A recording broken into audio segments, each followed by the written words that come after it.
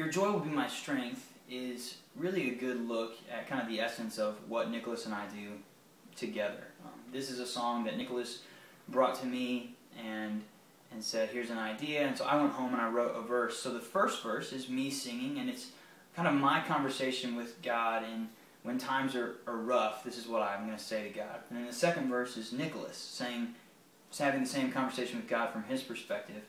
And then we come together, and that's I just love the idea of what that is. Me, him, us together. That's really what this band is, and and this song feels really special because of that. And it's uh, yeah, I think it's a really good look at kind of what we do and how we do it.